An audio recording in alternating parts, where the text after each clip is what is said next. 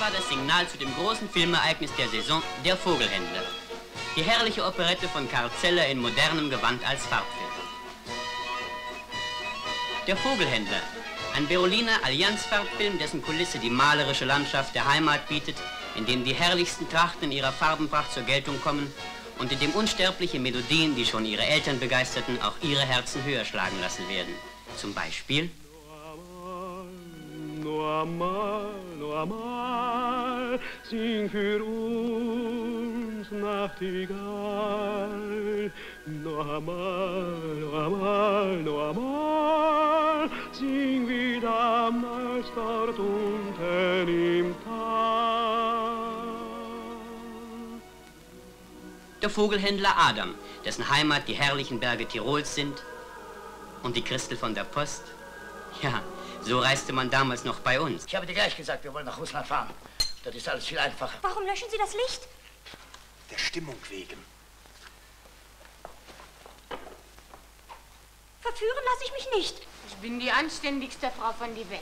Nicht, weil ich besonders gern anständig bin, aber ich habe gar keine Zeit, etwas anderes zu tun. Ich bin die Christel von der Post. Kleines Gehalt und schmal die Kost. Schmal die Kost. Ach, äh, übrigens, dass ich nicht vergesse. Nehmen Sie sich vor diesem Vogelhändler in Acht. Das soll ein ganz rabiater Bursche sein. Ja, ich höre, der will Ihnen die Nase einschlagen. Die Nase?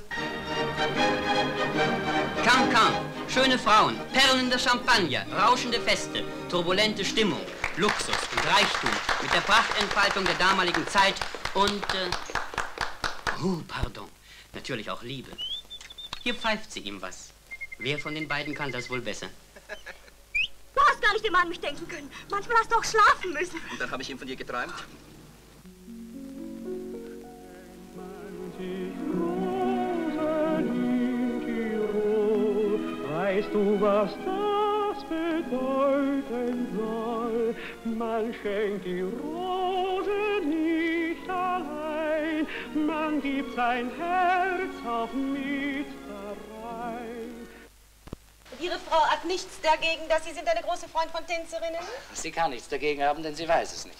Die Gräfin Hohenstein ist mit ihrem Reitlehrer durchgegangen. Heute kann ich's verstehen. Der Vogelhändler. Die Darsteller sind Ilse Werner, Wolf Albach-Retti, Sibylle Werden, Günter Lüders, Siegfried Breuer und die Nachwuchsdarsteller Eva Probst als Christel von der Post und als großes Ereignis die Neuentdeckung Gerhard Riedmann als Vogelhändler Adam. Versäumen Sie auf keinen Fall, sich einen der schönsten deutschen Farbfilme der Vogelhändler anzusehen. Demnächst in diesem Theater. Bis dahin. Alle miteinander, alle miteinander.